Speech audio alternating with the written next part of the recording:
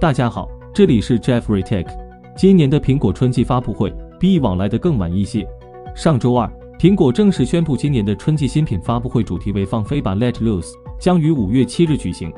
还有一周左右，苹果新品发布会就要举行了。按照苹果官方海报以及相关爆料来看，这场发布会的重点是 iPad 产品，将会推出新款 iPad Pro 和 iPad Air，同时配件 Apple Pencil 也会迎来更新。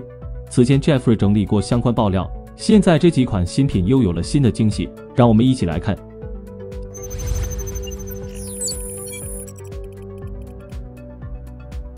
彭博社记者 Mark Gurman 今日报道称，iPad Pro 可能跳过 M3，直接搭载最新的 M4 处理器，并且将会使用新的 OLED 屏幕。iPad Air 则将首次增加更大的12.9英寸版本。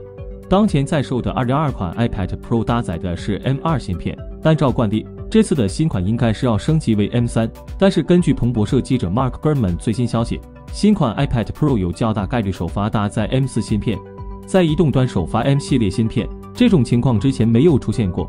而根据此前爆料，M4 芯片将会采用台积电改进版三纳米工艺，以此来提高性能和能效。同时，M4 芯片还将配备全新的神经网络引擎。全新的神经网络引擎应该就是新款 iPad Pro 首发 M4 的关键原因，因为将在六月发布的 iPad OS 十八，其重点升级是 AI。当 iPad Pro 搭载了 M4 芯片，就可以提高相关 AI 任务的性能。所以不出意外的话，新款 iPad Pro 很有可能也会成为苹果首款真正由 AI 驱动的设备，而 AI 功能也会是它的核心卖点之一。古尔曼还表示，从 iPad Pro 之后，苹果会把每一款新产品都称为 AI 设备。当然，这一切也都是为了回应近期席卷科技行业的 AI 热潮。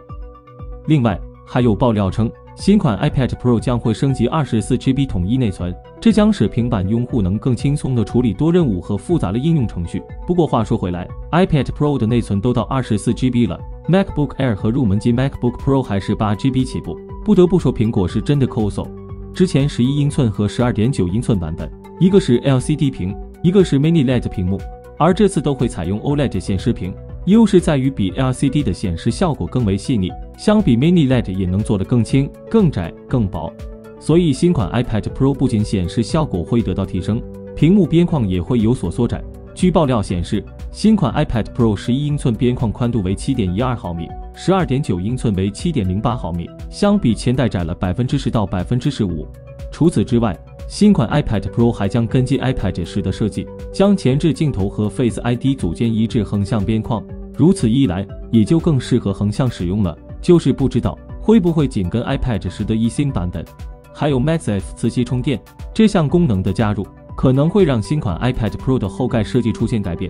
最后在价格方面，爆料称新款 iPad Pro 十一英寸起售价由原来的七百九十九美元涨到了九百五十九美元。十二点九英寸版本由一千零九十九美元起涨至一千二百五十九美元起。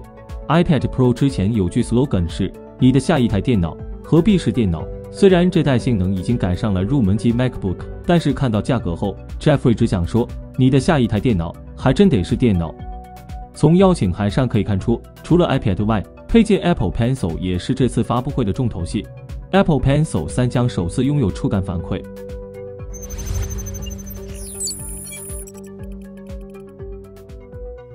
对于 Apple Pencil 的升级，Tim Cook 还在 X 上特别介绍，发文称 Pencil as information，请在五月七日给我们写留言。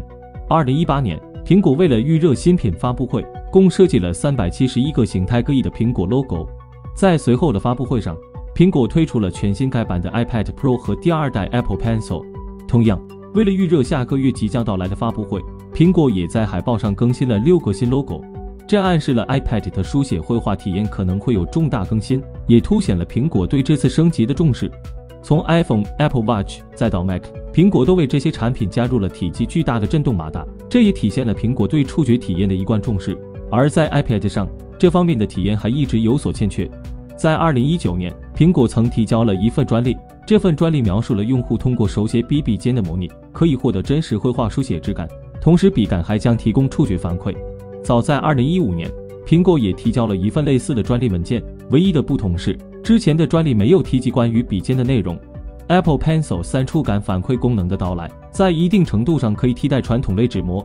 类纸膜虽然能模拟纸张的触感，但往往会影响书写的流畅性和精准度。而 Apple Pencil 三的触感反馈功能，能够在不影响书写精度的前提下，为用户提供更加逼真的纸笔书写体验。之前在 iPad OS 十七点五的测试版中，九兔五 Mac 还发现了多段代码，但指新款 Apple Pencil 将有一项重要的更新：全新的挤压手势。新的挤压手势允许用户快速进行一些简单交互，可以使用户在各种操作中更加方便灵活地添加形状、签名、贴纸或文本等内容。据推测，该手势将通过按下 Apple Pencil 笔杆表面来触发，配合触感触控，Apple Pencil 或许能模拟真实按键反馈。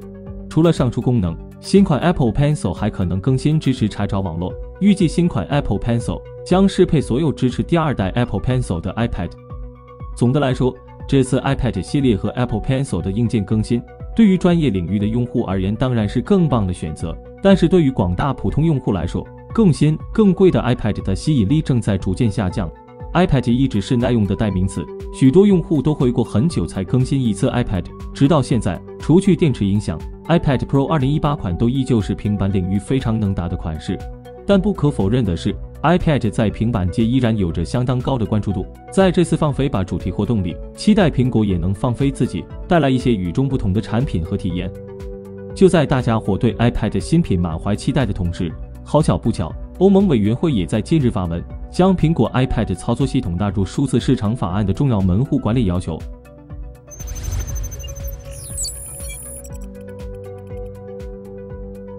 苹果公司在上个月发布的 iOS 十七点四中，为欧盟地区引入了第三方应用程序商店、浏览器等功能，以符合欧盟相关 DMA 法规策略。据彭博社报道，欧盟目前要求苹果公司的 iPad 遵循 iPhone 同款监管策略。苹果公司据称拥有有六个月的时间来调整，届时欧盟地区用户也可以在苹果 iPad 上自由使用第三方应用商店 NFC 功能，并能够卸载更多系统内置应用。参考此前报道，在 iOS 十七点四更新后，欧盟地区的 iPhone 用户已经可以从 App Store 以外的应用商店中下载应用。从 iOS 十七点五开始，用户还可以直接从开发者网站获取应用。不过，目前只有 iPhone 可以享受 App Store 以外的应用下载渠道。按照最新政策，欧盟的 iPad 用户大概在六个月之内看到类似的功能。以上就是本期视频的全部内容了。你期待搭载 M4 芯片的 iPad Pro 的表现吗？对于 iPad 遵循 iPhone 同款监管策略怎么看？